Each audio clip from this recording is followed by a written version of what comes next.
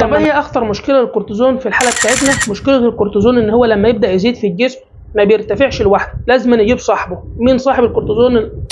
الإنسولين. يبدأ الإنسولين يرتفع في الجسم. طب إيه المشكلة لما الإنسولين يبدأ يزيد في الجسم؟ لما يبدأ يزيد في الجسم بيبدا يقلل هرمون الشبع اللي هو الليبتين. طيب ولما يقلل هرمون الشبع اللي هو الليبتين ده هيحصل إيه؟ هيبدأ يزود هرمون الجوع اللي هو الغريلين. طيب الغريلين ده أو الجريلين لما يبدأ يزيد هيحصل إيه؟ تبدأ تروح على الثلاجه وتبدأ تجوع.